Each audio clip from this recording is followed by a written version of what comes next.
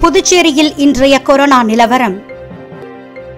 புதுச்சேரியில் இன்று புதியதாக இருநூற்றி இருபத்தி எட்டு பேருக்கு கொரோனா தொற்று உறுதி செய்யப்பட்டுள்ளது. இன்று குணமடைந்தோரின் எண்ணிக்கை நானூற்றி இருபத்தி ஒன்று. இன்று உயிரிழந்தோரின் எண்ணிக்கை இரண்டு. இதுவரை மொத்தம் பாதிக்கப்பட்டோரின் எண்ணிக்கை ஒரு லட்சத்தி பதினாறாயிரத்தி நானூற்றி பதினான்கு. இதுவரை கொரோனாவுக்கு பலியானோரின் எண்ணிக்கை மொத்தம் ஆயிரத்தி எழுநூற்றி நாற்பத்தி ஒன்று.